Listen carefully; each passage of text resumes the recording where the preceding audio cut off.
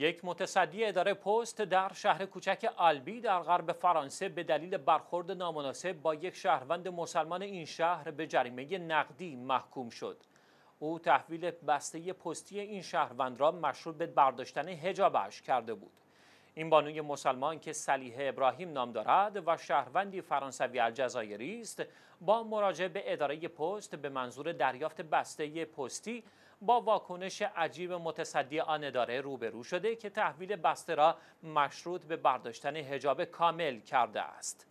این بانوی مسلمان که صلیح ابراهیم نام دارد برای دریافت بسته پستی خود به اداره پست منطقه سکونتش مراجعه کرده و متصدی پست بعد از جستجوی بسته از وی خواسته تا هجابش را کامل بردارد تا بتواند او را با کارت شناساییش تطبیق دهد.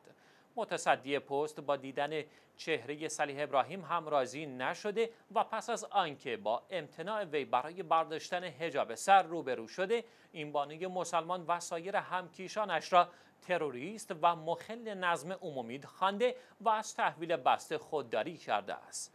در پی مراجعه صلیح ابراهیم به اداره پلیس محل و طرح شکایت و بررسی مسئولین متصدی خاطی به پرداخت هزار یورو جریمه نقدی محکوم شد.